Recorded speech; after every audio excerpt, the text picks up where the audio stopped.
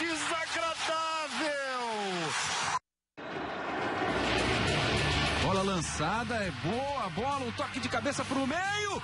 Gol!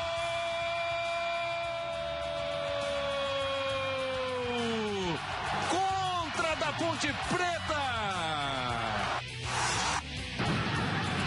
Alessandro pediu, ele faz o cruzamento, Leandro Damião de cabeça ajeitou. Olha o Gleidson, direito, pegou mal na bola.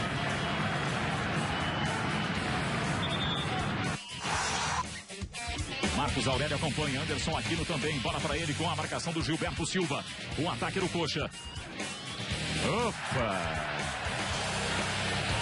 Esse aí certamente vai entrar nos piores momentos da jogada. Dudu. Furou Caio.